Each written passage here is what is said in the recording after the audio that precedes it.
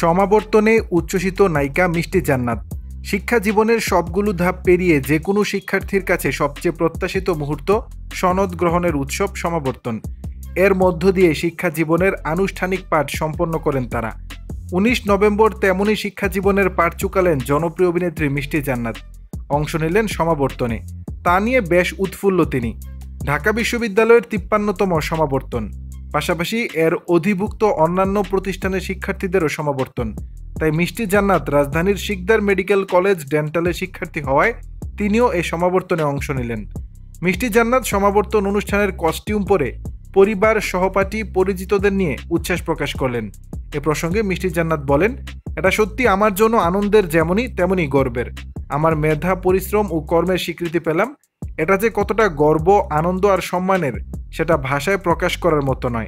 ঢাকায় চলচ্চিত্রের পরিচিত মুখ খুলনার মেয়ে মিষ্টি জান্নাত। দুই হাজার চোদ্দ সালে লাভ স্টেশন ছবিতে অভিনয় করে ঢালিউডে পা রাখেন তিনি। তিনি চলচ্চিত্রে অভিনয়ের পাশাপাশি রাজধানীর শিকদার মেডিকেল কলেজে ডেন্টালে পড়াশোনা করতেন। দুই হাজার উনিশ সালের আগস্ট মাসে তিনি বাংলাদেশ মেডিকেল ও ডেন্টাল কাউন্সিল থেকে আনুষ্ঠানিকভাবে দন্ত চিকিৎসক হিসেবে রেজিস্ট্রেশনও পেয়েছেন। পেশাগতভাবে দন্ত চিকিৎসক হিসেবে কাজ করছেন। রাজধানীর নিকেতনে তিনি প্রতিষ্ঠা করেছেন heaven dental and beauty clinic দর্শক, মিষ্টি জান্নাতকে নিয়ে আপনাদের মতামত জানাবেন নিচের কমেন্ট বক্সে